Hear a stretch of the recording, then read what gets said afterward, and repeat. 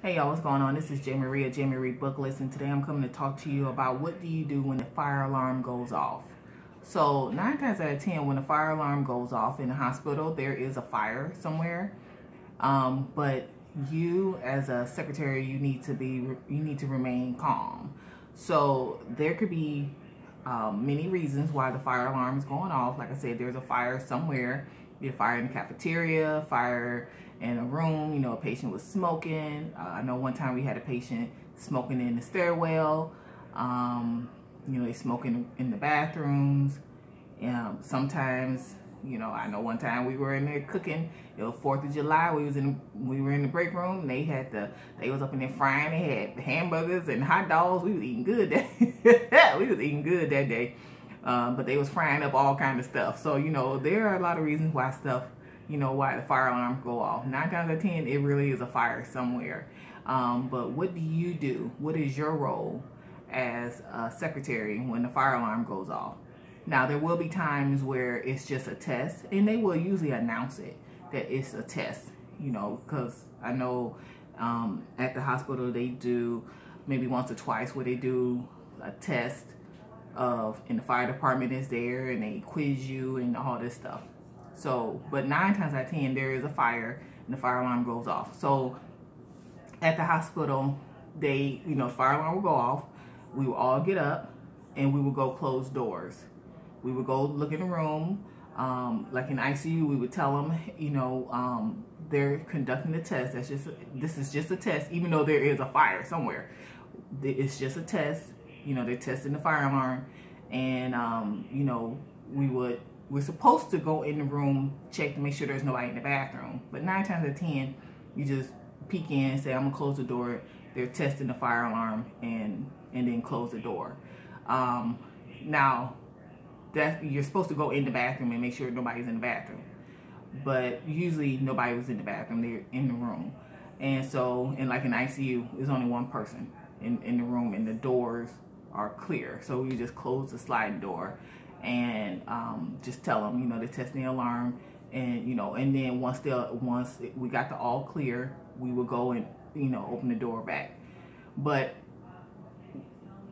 and then of course, um, you know, any door that's supposed to be shut will be shut. So the doors had magnets on them, and then any doors, because all the doors supposed to be shut because your point is to contain a fire you're supposed to do a race. When there's a fire, you do a race. And race stands for rescue. So that's why I say you're supposed to go in the room. Well, that a race means rescue. And then the A, the R means um, rescue. So you rescue someone from the fire. And then A means you pull the alarm. And then C is contain. So you contain the fire and then E can mean it can mean extinguish, it can mean evacuate. It just all depends.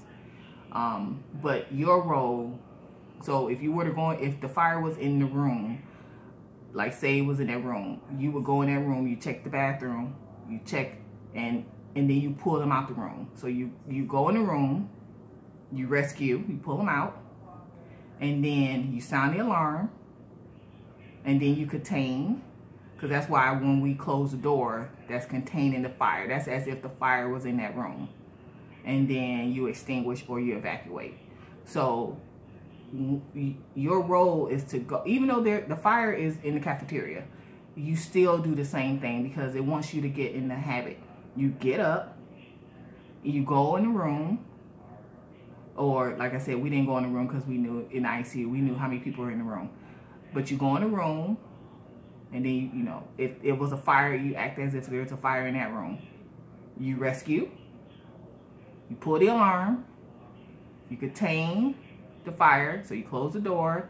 And then you're supposed to, if it was a real fire, you will put a, a, a, a glove on the doorknob to let them know that you got whoever was in that room, you got them out that room. This is uh, this is if it goes where you got to evacuate the floor um, and then you extinguish or you evacuate. So that's what race means. So there are things you do. Like I said, we never had a fire on our floor. Um, we never had to evacuate the unit. There, you know, we, you, you should know that if there's a fire and you have to evacuate, you know, you know, you're supposed to go to another compartment on that. You're supposed to do a, a horizontal evacuation. So you're moving from your department to another department on that floor. And then if, if the fire spreads, then you got to do uh, a vertical. So you either go, you go down, I would go down, I wouldn't go up, but I would go down. Um, like I said, we never really had a fire on our unit.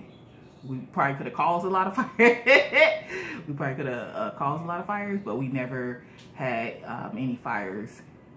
And um, but you, it was just a, it was just a, a, a habit, and we just tell them, hey, you know, they're just testing out the the the fire alarm when it really was a fire, fire in the cafeteria, uh, things like that.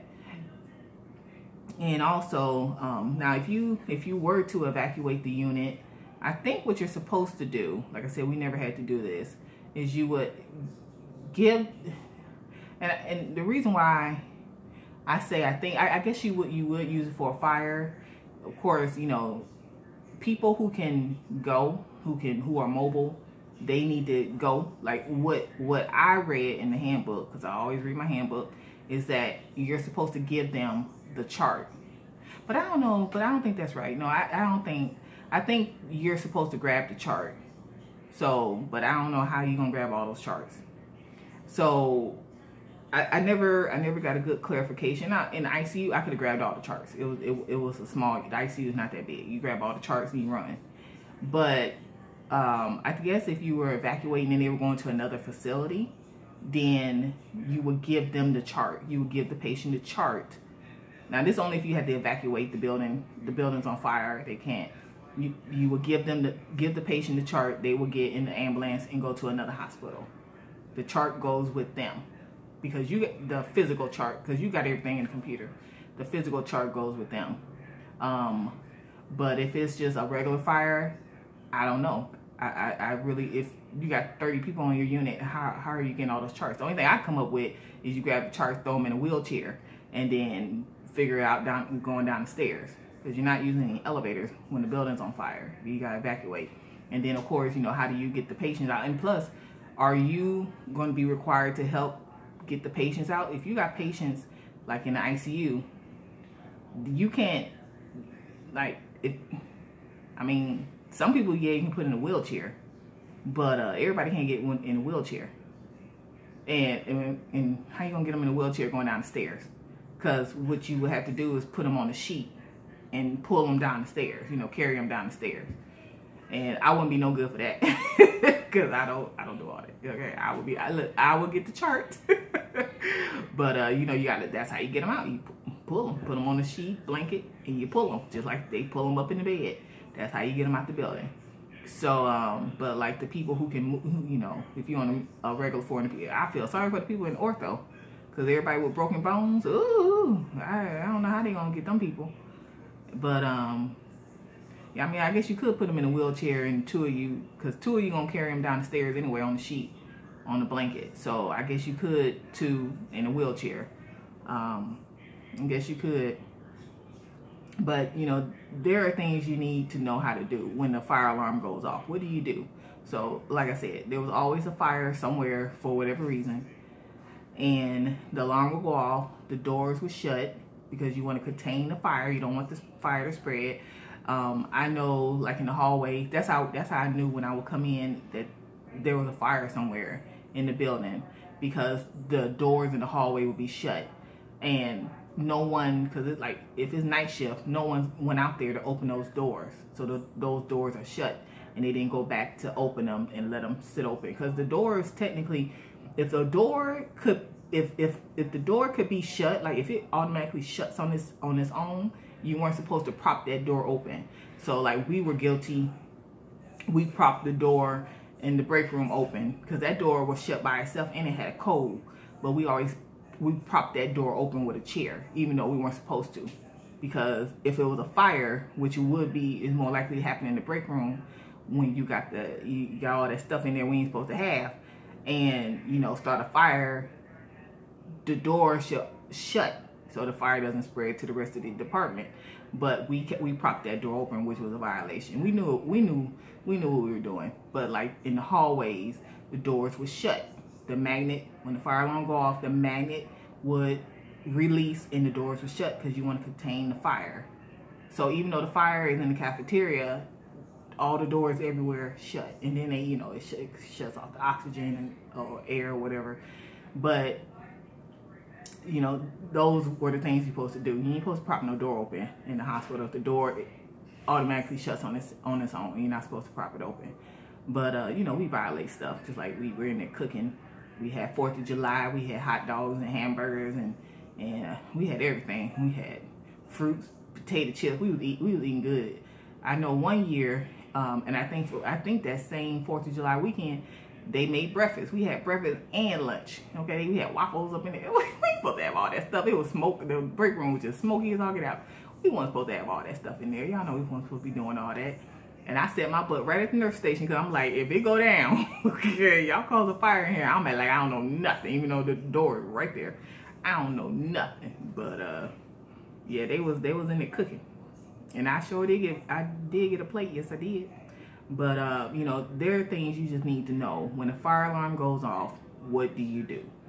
Now, if it's a real fire and it's on your unit, you got to do your race, your rescue, your alarm, your um, containment, and then your evacuation or, or uh, extinguish. Now, you need to know where the fire alarm is. So like in the ICU, the fire alarm was right next to me. So I could have just grabbed and pulled it down. And then the fire hose were outside the unit, but the hose were long because that's because they, we used to, once a year, the fire department would come and um, do a drill with us and ask us, you know, and we had to know. It was like a quiz. We had to know where the stuff was. So there were two fire alarms. I know one was next to me. I can't remember where the other one was. And then the fire hose was outside the unit, but it was long. And then there was another one outside the unit. Or that one might have been in the in the unit, but it was on the other end because the IC was long. Whereas in the main floor, um, it was right across from me. So the the water, the fire hose, and like a little um, thing to break it was right there. I can't remember where the fire alarm was to pull, but I know it was right there because it was literally right there in front of me because there was some stairs right here, a stairwell right here, and that was right there. So these are things you need to know. Where where's your fire where's your fire alarm on your on your unit? If something were to happen now and you need and they say pull the alarm, where's the alarm? Do you know where it's at? Go grab the there's a fire, grab the water hose. Do you know where it's at? Do you you need to know these things? Cause you know you you you the one that know everything. okay?